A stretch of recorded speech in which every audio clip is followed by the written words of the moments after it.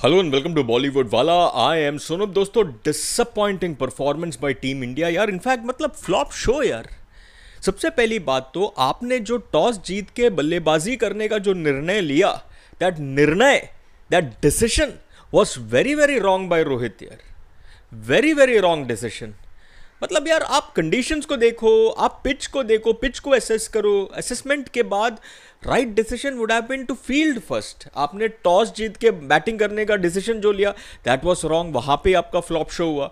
उसके बाद यार I have to say this pitch में थोड़ा सा हल्का सा बाउंस है एंड अगर गेंद बॉल इधर उधर थोड़ा घूमेगा इधर उधर थोड़ा मूव करेगा तो भैया इंडियन बैट्समैन फ्लॉप ये हमने देखा एंड यार, ये बांग्लादेश नहीं है, ये श्रीलंका नहीं है। This is a strong New Zealand team and उन लोग का बॉलिंग देखो, उन लोग का बॉलर्स का हाइट पहली बात तो देखो। और जो बाउंस उन्होंने निकाला, जो पर्टिकुलर मूवमेंट भी था बॉल में Indian batsman total flop show मतलब यार this is disappointing let's assume toss गलत हो गया.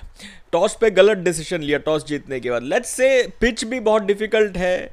बॉल भी मूव हो रहा है बट ये इंटरनेशनल लेवल बैट्समैन है. We are talking about Virat Kohli Rohit Sharma यार 46 पे ऑल आउट नहीं हो सकता यार आई एम सॉरी मैंने सोचा, यार, न्यूजीलैंड है, मैच देखता हो, यार, बांग्लादेश तो मतलब मैं ज़्यादा देखा भी नहीं टू बी ऑनेस्ट क्योंकि बांग्लादेश है, अपने को जीतना ही है, यार. तो न्यूजीलैंड एक स्ट्रॉन्ग साइड है, मेरे को लगा एक स्ट्रॉन्ग फाइट होगा बट यार this is disappointing performance by team India now we can only hope that they recover fast अभी न्यूजीलैंड को भी ऐसे ऐसे आउट करे, बुम बुम, बुमराह हो, सिराज हो, अब हमारे पास स्पिनर्स भी है तो जलवा दिखाना पड़ेगा। न्यूजीलैंड को एक बहुत ही कम टोटल पे यू नो ऑल आउट करना पड़ेगा।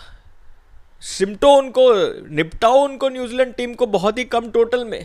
नहीं तो अगर न्यूजीलैंड का बैटिंग चल गया भैया देन तो it will be difficult for team India to you know mount a comeback let's hope Indian team makes a strong comeback but disappointing flop performance दोस्तों, आपका take let me know and of course like share and subscribe भी करना channel को video को and super thanks का option भी है, वो भी आप दे सकते हैं। साथ में इंस्टाग्राम पे भी आप मुझे फॉलो कर सकते हो, मेरा यूज़र नेम है बॉलीवुड वाला। चलिए, अभी तो यार थोड़ा 嗯哒哒